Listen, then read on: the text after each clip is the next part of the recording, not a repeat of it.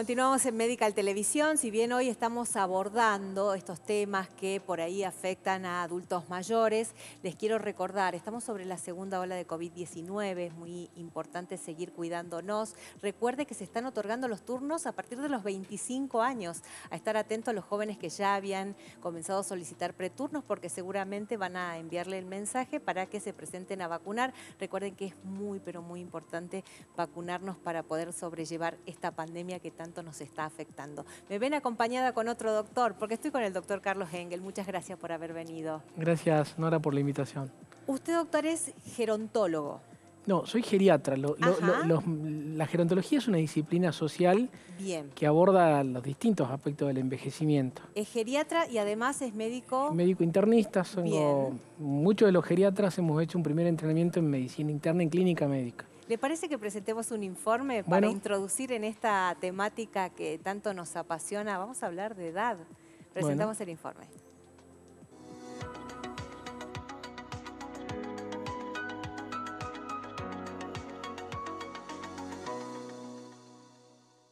El envejecimiento es un proceso gradual, espontáneo.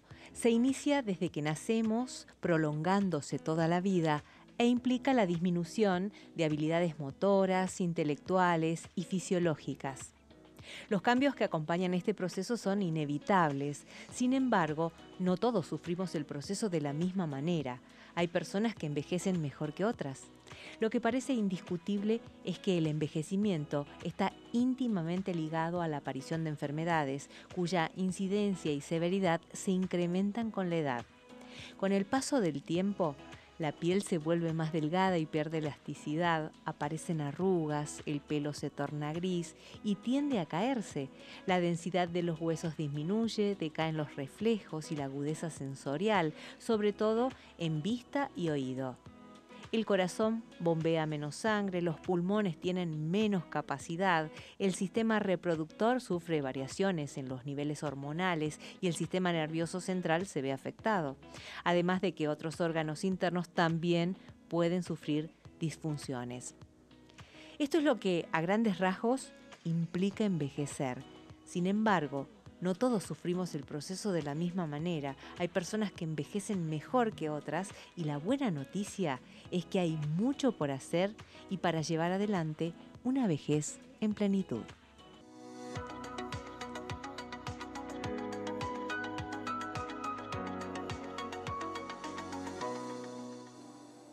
A partir del informe, doctor, ¿qué diferencias hay entre la edad esta cronológica y esta edad fisiológica? Fisiológica. Sí, es muy interesante, creo que lo conversábamos un ratito antes de que comience. Este, digamos, y es una pregunta frecuente que nos hacen las personas, ¿desde qué edad comienzo a ser una persona mayor? Y la verdad que no hay una edad, no, no, no, la, respuesta, y sobre esto hay encuentros, reuniones, y hay un montón de debate, digamos, en el ámbito gerontológico, que no hay una edad en la cual una persona comienza a envejecer. Eh, y de hecho que el informe dice, envejecemos desde que nacemos. Este, porque hay, mucho, hay mucha división, por ejemplo, hay, una extrapolación del mundo del trabajo al mundo de la salud que no tiene nada que ver. Hay, eh, incluso hay, mucha información oficial que toma a la vejez a partir de los 65 años, porque a los 65 años la mayoría de la gente se retira del mundo del trabajo para emprender otras cosas quizás, ¿no? Y sin embargo, a, esa edad, esa edad no, no, se, siente... ¿no? Eh, la vida este, activa de un ser humano. Si no me equivoco, dentro de unos años, en 20 años, va a haber más población mayor de 60 años por primera vez en la historia de la humanidad, lo que quiere decir que la expectativa de vida es mucho más grande. Dos temas con esto. Cuando empezaron los regímenes jubilatorios, y hoy es un debate en el mundo si hay que extenderlos o no, pero este, las personas tenían una expectativa de vida no más de 10 años, es decir, una persona trabaja, dejaba de trabajar y vivía 10 años más. Y hoy sabemos que viven 30 años más. Una mujer que se retira a los 60 años tiene chance de vivir hasta los 90 si se ha cuidado en su salud. Por eso lo importante de que a esta edad, cuando uno llegue a esa edad de entre los 60 y se retira del mundo formal del trabajo, si ha tenido oportunidad, las personas tengan un proyecto de vida, ¿no? Diciendo, bueno, ¿cómo voy a encarar mis próximos 30 años de vida? Que es casi igual como el adolescente que define qué va a estudiar, eh, porque tiene por delante muchos años de vida en edad jubilatoria Este, y eso hay que saberlo manejar, conversar. ¿no? Incluso, doctor, desde el punto de vista médico, nosotros podemos extender nuestra vida acorde a cómo eh, vivimos precisamente, cómo prevenimos tener un envejecimiento eh, rápido. Ya hay bastante investigación, por suerte en los últimos años hay mucha evidencia científica, ahora que nos gusta hablar todo ajustado en evidencia, está bien que así sea, eh, en conocer cuáles son las cosas que, nos hacen bien. Eh, de hecho, que hay, hay mm, eh, yendo a todo lo que vos nos decís, hay, hay en el ¿dónde están situadas las poblaciones más longevas, por ejemplo? Las poblaciones más longevas hoy están algunas en, los países nórdicos, en, la, en el borde del Mediterráneo, españoles, italianos, griegos. Y en Latinoamérica las poblaciones más longevas están en, en Cuba, en Costa Rica, y Argentina es un país envejecido. Argentina lidera el envejecimiento dentro de Latinoamérica. Y bueno, y hay investigaciones que estudian puntualmente qué hacen las personas para cada vez vivir más años. Y sin duda tienen que ver adherirse a hábitos saludables. Hay, hay mucho por decir, pero no solamente adherir a hábitos saludables, sino vivir con empatía, vivir con compromiso activo con la vida, a tener nuevos proyectos, este, eh, y sin duda evitar la discapacidad. ¿no? ¿Qué controles médicos debe realizarse un adulto mayor? Después de los 65 años, la mayor parte de las sociedades médicas del mundo recomiendan al menos una vez al año ir a un, un, encuentro médico, ¿sí? Por más que me sienta bien, porque muchas veces, ¿a qué voy si no, no tengo queja de memoria? Eh, mi salud cardiovascular, que es la principal causa de mortalidad de las personas grandes, está bien. Bueno, es una oportunidad de, hablar con tu médico, si te has vacunado, cuán adherido estás, tomarte la presión, eh, cuán adherido estás a hábitos saludables, si haces actividad física. La población mayor suele ser muy sedentaria, lamentablemente, y eso es una cosa que hay que corregir, ¿no? Este, hay que, desde, todos los ámbitos, desde, no solamente del ámbito médico, sino también promover ciudades amigables con el envejecimiento, promover estas cosas que uno ve en esta ciudad, ciclovías, este, eh, lugares para que podamos caminar en forma segura. O sea que también la política y los municipios tienen un rol en este ¿Cualquier este tipo de actividad física es importante para el adulto mayor o hay algún tipo de actividad física que es más recomendable que otra? Es muy buena tu pregunta. Ahí durante mucho tiempo hemos, hemos alentado mucho la actividad aeróbica. La actividad aeróbica es caminar, trotar, andar en bicicleta, nadar, eh, porque esa, esa actividad eh, baja mucho el riesgo cardiovascular. ¿sí? Eh, baja la presión, este, baja la probabilidad de infartos y demás. Pero ya de un tiempo esta parte, eh, las personas mayores lo que más buscan es ser autónomos en la vida. O sea, creo que si vos le preguntás a una persona mayor qué es lo que desearía, es hasta el final de sus vidas tener autonomía. no ser una carga para la familia, ¿no? que es lo que hablábamos recién con el, doctor Zorrilla, que por ahí las enfermedades de los adultos mayores son más difíciles de sobrellevar para la familia que para el propio paciente. Y en el caso del, tema que tocaba, sí, este, se, dicen que hay dos enfermos, ¿no? El, enfermo y el enfermo oculto, que es el acompañante, el cuidador. Pero yo quería completar la, idea. Entonces, desde un tiempo esta parte se trata de preservar mucho la masa muscular. Entonces, los ejercicios aeróbicos por un lado y los ejercicios de resistencia. Porque una persona mayor que pierde peso o que pierde masa muscular, normalmente perdemos masa. O sea, ninguno de nosotros tiene la masa muscular de los 20 años, ni a los 80 vas a tener la de los 40. Pero si, si vas a ser una persona mayor muy delgadita, muy frágil, le llamamos en el término médico, este, tenés muchas chances de, perder autonomía y de entrar en discapacidad. Doctor, ¿por qué el COVID-19 ha hecho tanto estrago en nuestra población mayor? Eh, hoy, lo discutíamos con un grupo de, en el marco del, Día del Abuso y Maltrato en la Vejez. ¿Por qué se las ensañó? Eh, yo creo que porque, bueno, lamentablemente eh, en la edad adulta o en la edad mayor se concentran las enfermedades. Eso lo decía tu informe también. Y es más, muchas veces este, muchos de los desenlaces negativos más tienen que ver con enfermedades que con vejez, digamos, ¿no? Pero es innegable, en la, en la segunda mitad de nuestras vidas o en la última, en los últimos años de nuestra vida vamos a tener más enfermedades que cuando somos jóvenes. Entonces, yo creo que tiene que ver con la concentración de enfermedades que el COVID ha, atacado como negativas, ¿no? La obesidad, la hipertensión, eh, las enfermedades pulmonares, o sea, y uno va a decir en qué segmento etario están más concentradas y es en la vejez. Si nuestro adulto mayor no tiene un problema, una enfermedad, una patología de base, ¿tenemos que cuidar su alimentación? ¿Hay que modificar la alimentación? No, siempre. ¿O es posible que siga? Siempre. Yo te contaba, en esto de las investigaciones longitudinales que tratan de ver qué factores hacen bien a las personas mayores, eh, la población es más longeva, por ejemplo las mediterráneas, se estudió mucho qué es lo que comen, qué es lo que, qué es lo que comen. Eh, yo tuve incluso la oportunidad de hablar eh, con españoles, este, hay mucho escrito sobre dieta mediterránea y envejecimiento. La dieta mediterránea tiene que ver con frutos secos, con aceite de oliva, pero no chorritos, en buena cantidad, este, con pescados, pero pescados de aguas profundas, que se llaman aguas azules, con bajo contenido de carnes rojas, con, muchos cereales. Y ellos dicen, bueno, es lo que comemos, porque nuestro cordón productivo tiene que ver con esto. Entonces, eh, uno analiza la, población española que tiene una expectativa de vida de 82 años, y bueno, ¿y qué es lo que comen? ¿Por qué son tan longevos? Y hasta incluso con el consumo racional, en algunos dicen, del, del, vino tinto, ¿no? Este, bueno, entonces la dieta tiene que ver. las dietas mediterráneas y hay otras dietas estudiadas también tienen que ver con nuestra forma de envejecer. Bien, recién usted decía entonces, el tema de la actividad física es fundamental. Sí, sin el tema de la dieta, por ejemplo, la mediterránea es una muy buena alternativa para nuestros adultos mayores.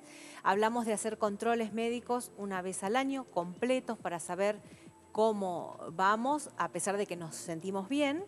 Y con la vacunación, ¿Qué es lo que un adulto mayor debería tener en cuenta en estos tiempos? Sé, por supuesto, COVID-19 primero y antes que nada. Eh, pero tengo entendido que hay otras vacunas que hay que revisar. Claro, antes del COVID nosotros insistíamos mucho en la vacuna antigripal, que es una vacuna de aplicación anual, eh, en la vacuna para la neumonía, que hoy son dos esquemas y que prácticamente con esos dos esquemas está cubierto el esquema para el resto de la vida. Y después, bueno, reforzar esquemas de vacunación que se dan cada 10 años, este, como vacunas para tétanos, ¿no? Eh, y hay una vacuna que todavía no está completamente difundida en los, en los calendarios de salud pública, pero que, bueno, ya hay evidencia de que es útil, que es la vacuna para el herpes zóster. Eh, el herpes zóster, la reactivación del zóster es el virus de la varicela, que se reactiva en los mayores en forma de la culebrilla, digamos, en, famoso, en la famosa erupción que es muy dolorosa y que suele dar neuralgias y que, bueno, eso cada uno lo discutirá con su médico de cabecera, todavía no es algo que tenga difusión en las estrategias de salud pública, pero se sabe que es una vacuna que puede y debe utilizarse en personas mayores, ¿no? Me parece, doctor, que hemos hecho un recorrido por cómo debería ser el cuidado de nuestros adultos mayores. Si usted me permite, hoy es un día muy caro a los sentimientos de eh, nuestros mayores en la sociedad y tiene que ver con que organizaciones internacionales han dispuesto una jornada de de reflexión en cuanto al abuso y maltrato en la vejez, porque es más común de lo que imaginamos, porque sucede en el mundo entero, generalmente en el seno intrafamiliar, pero me permite que compartamos un informe. Lo compartimos y reflexionamos con el doctor.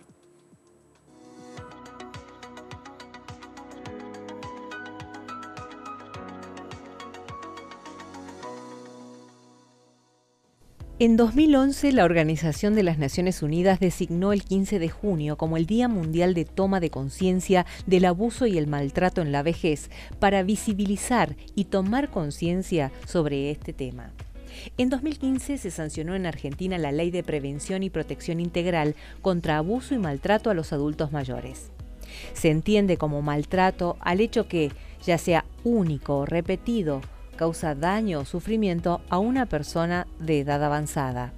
También se considera una forma de violencia la falta de adopción de medidas apropiadas para evitar estos padecimientos, por ejemplo, la inacción de un familiar ante el conocimiento de situaciones de violencia que sufre el adulto mayor por parte de terceras personas o de otro familiar.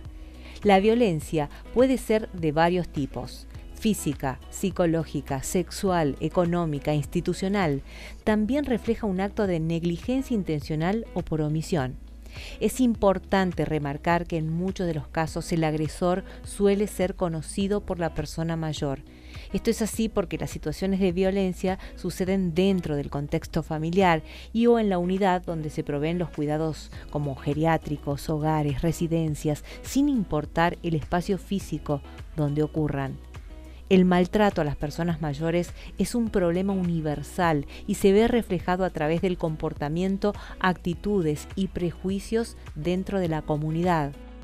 Si sos testigo de un hecho así, denuncialo. ¿Viste que siempre dicen que nacemos con derechos? Esos derechos no se pierden cuando pasan los años. A medida que nos ponemos viejos. Vamos ganando derechos y los mayores tenemos derecho a envejecer con dignidad. Nuestra salud, nuestro bienestar, nuestros bienes son nuestros. Rechazamos la violencia. Digámosles no al maltrato. Y le decimos sí al buen trato, porque queremos disfrutar. Pásala bien. Somos protagonistas de nuestras vidas de nuestras decisiones y de nuestros deseos también. Y porque somos protagonistas, seguimos construyendo un país para todas las edades.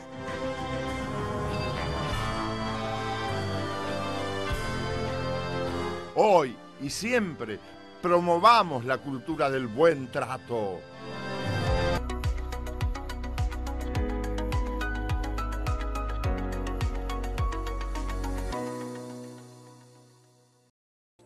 Y ahora podemos entrar en las emociones. Qué importante que es trabajar en las emociones de nuestros adultos mayores, el acompañarlos, como bien decía el informe, en relación al trato digno que se merecen, ¿no?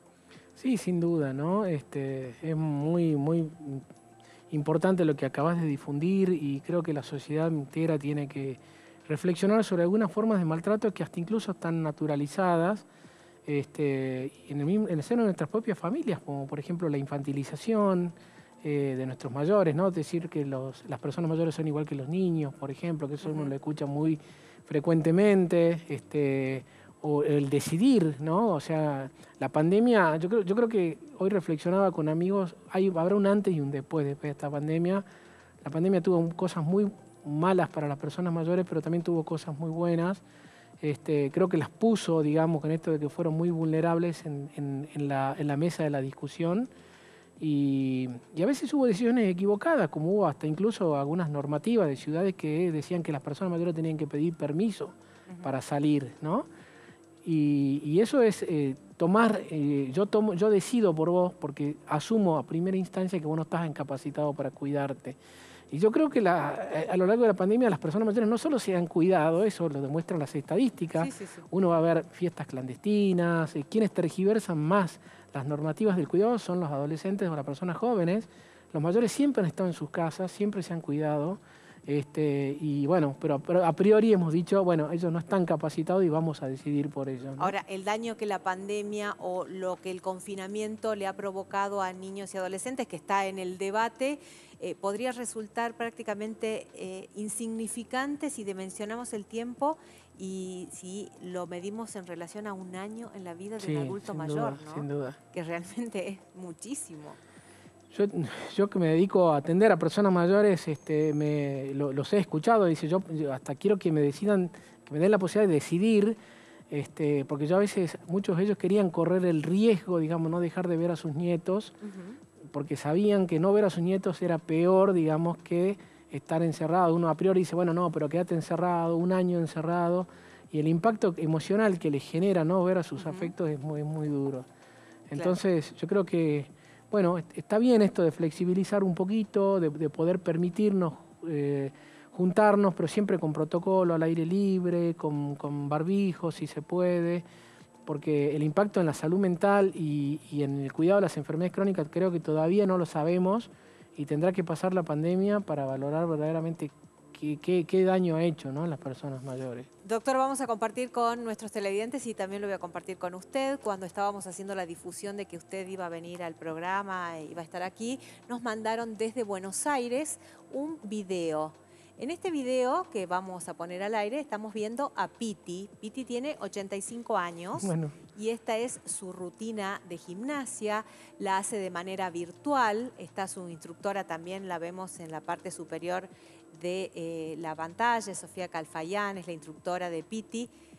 Y es realmente un ejemplo, ¿no? No sé qué piensa usted, doctor. Cuénteme. Bueno, eso, eso es lo que yo te decía, son ejercicios de resistencia, porque ahí la, persona mayor está trabajando contra su propio peso, está levantando, bueno, ahí usa pesitas de bajo peso, está muy bien que esté supervisada por, por personas entrenadas, no todos los, los profes de educación física o kinesiólogos están entrenados, eso también hay que trabajar mucho en eso. Pero ese, ese tipo de ejercicio va a evitar que esa persona pierda masa muscular, va a evitar que su hueso sea más frágil, va a evitar fracturas seguramente y va a evitar caídas. Las caídas que son también tan significativas y tan importantes en estos tiempos, que los adultos están más tiempo en su casa, ¿no? Las alfombras, los baños, que son realmente para tener muy, muy en cuenta. Claro, y eso, eso, es, eso es genial.